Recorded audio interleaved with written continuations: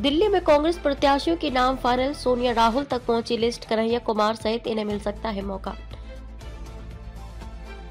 आप देख रहे हैं द खबरदार न्यूज़। ये न्यूज़ चैनल नहीं आपकी आवाज़ है। आवाज़ ऐसी जिसे ना कोई दबा सकता है ना झुका सकता है। हम करते हैं सबको खबरदार। दिल्ली की तीन लोकसभा सीटों पर प्रत्याशियों का चयन पार्टी के राष्ट्रीय अध्यक्ष मल्लिकार्जुन खड़गे के स्तर पर नहीं हो सका। अब प्रत्याशियों का चयन सोनिया गांधी और राहुल गांधी के पास पहुँच गया है। कन्हैया कुमार और उदित राज के नाम पर मशक्कत हो रही है। हालाँकि कुछ नेताओं में इन दोनों नामों को लेकर सहमति नहीं है।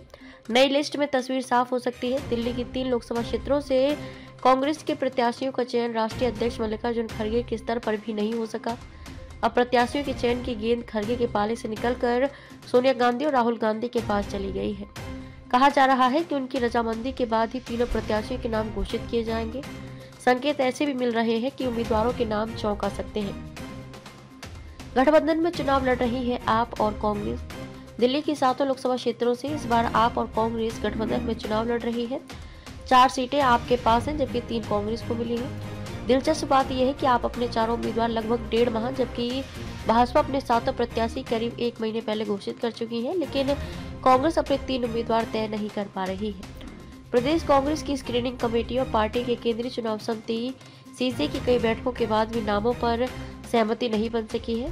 पार्टी सूत्र बताते हैं कि प्रदेश कांग्रेस ने उत्तर पूर्वी दिल्ली सीट से पूर्व सांसद संदीप दीक्षित, चांदी चौक सीट से पूर्व सांसद जयप्रकाश अग्रवाल एवं उत्तर पश्चिमी दिल्ली सीट से पूर्व मंत्री राजकुमार चौहान का नाम प्रस्तावित किया गया था।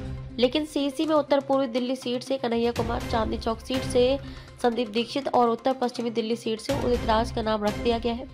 इससे जयप्रकाश अग्रवाल का नाम कटने की संभावना बन गई है। इसी पर विवाद खड़ा हो गया है और नाम तय नहीं हो पा रहे हैं। कुछ नेता पक्ष में नहीं, पार्टी नेताओं का कहना है कि कन्हैया कुमार का नाम जेएनयू में की गई नारेबाजी और भाजपा छोड़ने के बाद हिंदुत्व के विरोध में उदित राज की टिप्पणियों के कारण इन्हें प्रत्याशी बनाने से दिल्ली में गलत संदेश जाएगा।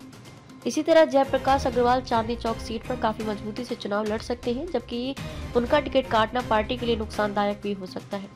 कन्हैया का नाम कटा तो लवली इस सीट से लड़ सकते हैं चुनाव। प्रदेश कांग्रेस के वरिष्ठ नेताओं की माने तो इसलिए आलाकमान भी सारे मामले को देख रहा है।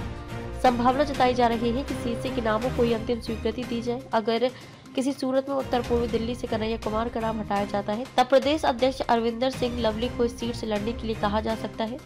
इसी तरह चांदी चौक से संदीप दीक्षित का नाम हटाकर जयप्रकाश अग्रवाल को टिकट दी जा सकती है। उत्तर पश्चिमी सीट में बदलाव के असर थोड़े कम ही लग रहे हैं। वैसे नेताओं की माने तो रसाकसी अभी जारी है। अगर आपको वीडियो पसंद आई हो तो वीडियो को लाइक करें शेयर करें और हमारे चैनल को सब्सक्राइब करना ना भूलें। अपने सपनों का घर बना रहे हैं। एपी कंस्ट्रक्शन सॉल्यूशंस आपके लिए तैयार है।